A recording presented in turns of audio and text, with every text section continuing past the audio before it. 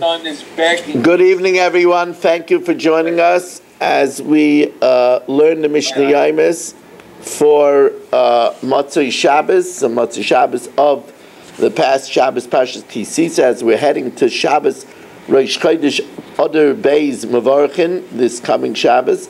We're going to finish the fourth parak of um, Masechtas Bav Metzia now, uh, uh, fourth parak of Nedarim now, as we learn uh, Mishnah of Zion and Ches, Mishnah Zion and Ches in the fourth parak, sponsored uh, Le'iloi Nishmas.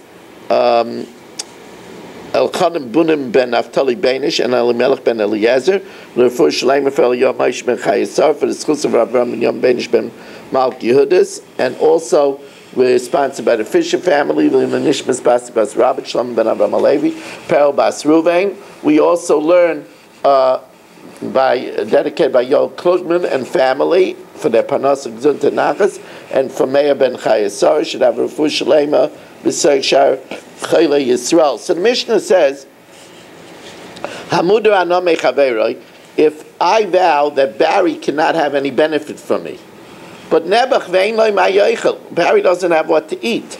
Hoylech achenveni, I could go to Mark, the grocer, v'aymer, and I could tell him, ish ploini muder mi meni hana, Barry is not allowed to benefit from me, and I don't know what to do. He's, he's hungry. I didn't tell him to give it to him. That I wouldn't be allowed. I just said I don't know what to do. Very nice and light. He could give Barry uh, egg sandwich, or Baba Naitam and then he could get paid for me. Hayabesa live nice. If Barry had a house to be built, Gidrai Ligdar, a fence to be fenced, so there Lichtzer, a field to be harvested. I could go to workers and I could say, ish play Barry is not allowed to benefit from me. I don't know what to do. He's, he's, he's homeless. He's uh, unprotected. He doesn't have any food. They could build for him. They could harvest for him. They could fix the fence, and then the Von Venodlin Sakham is there. And then they could take the money from me because I never told them to do it. If I was traveling with Barry on the road, Barry's not allowed to benefit from me, and Nebuch, the poor guy, he's, he's, he's, he's struggling. He needs to eat. Noisin la'achar, I could give it, if let's say Yeshua Shmuel is with us, Noisin la'achar l'shumatana, I could give it as a gift to Yeshua Shmuel, and then and then Yeshua Shmuel could give it to Barry.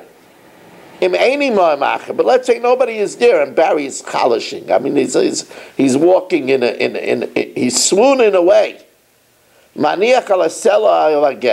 could put the bread on a rack or on a fence, and I could announce with